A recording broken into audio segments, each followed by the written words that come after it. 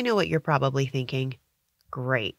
Another podcast with some vague name.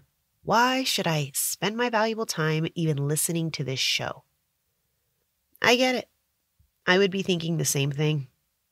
To make sure neither of us are wasting time, I will tell you what this show is about, what type of episodes you can expect to hear, and what the vague, mysterious sounding name even means.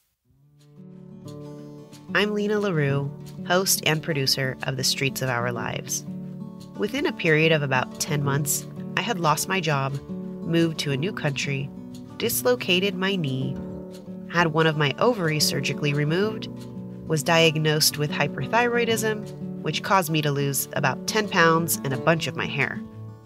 All of this stress compounded until one day, when an extremely stressful family situation arose, I exploded. A surge of repressed emotions from about 10 to 20 years ago started flowing out of me. Two things happened. One, I finally recognized that I had lots of undealt with emotions from my past. And two, I started making the connection that unless I started to make my mental health a priority, my physical body would continue to suffer. I decided to start this podcast as a means of staying accountable to my healing journey while also helping others at the same time. So, what is the streets of our lives about, and why should you listen? Well, we aren't going to talk about literal streets that we have lived on.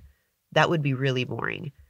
The street is figurative for our past life experiences that have impacted our overall well being we will recognize just how much of an impact our past has had on our everyday thoughts and decisions.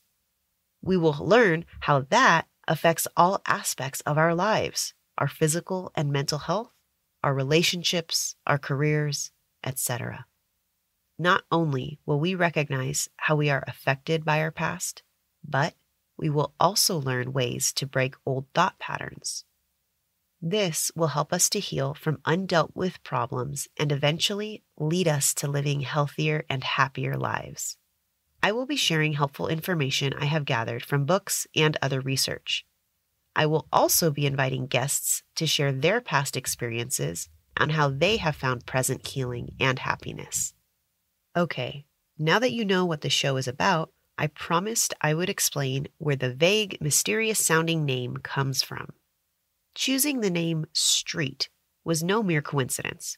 The reason I use that word specifically, it's kind of cheesy, and honestly, it also strokes my ego a little bit.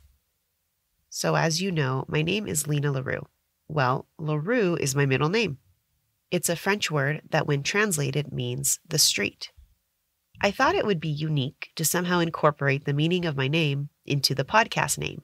Plus, the phrase the streets of our lives, evokes a shared universal concept we can all mutually relate to. Think about it. We can all relate to living on or traveling on a street at some point in our lives. Now that you know what this podcast is about, I hope you will decide to listen to a few episodes.